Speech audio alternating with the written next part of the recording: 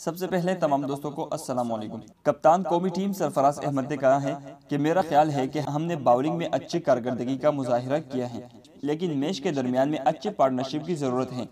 उन्होंने कहा कि मेरा ख्याल है कि हमें हर ओवर में आठ से नौ रन बनाने चाहिए। अगरचे ये मुश्किल हदफ है सरफराज अहमद का कहना था कि हम सीरीज़ में अच्छी कारकर्दगी का मुजाहरा नहीं कर सके खासतौर पर हमारा बैटिंग ऑर्डर तसल्ली बख्श नहीं रहा है उन्होंने कहा कि हमारी कोशिश है कि ऑस्ट्रेलिया के खिलाफ ज़्यादा से ज़्यादा खिलाड़ियों को मौका दिया जाए। हमें बैटिंग बाउलिंग और फील्डिंग में अपनी कारकर्दगी बेहतर बनाने की ज़रूरत है और ख़ास तौर पर फील्डिंग में। हम किसी टीम को शिकस्त नहीं दे सकते। अगर मैच के दरमियान में इस तरह कैच छोड़ते रहें जिस तरह श्रीलंका के खिलाफ सीरीज़ में छोड़े गए हैं।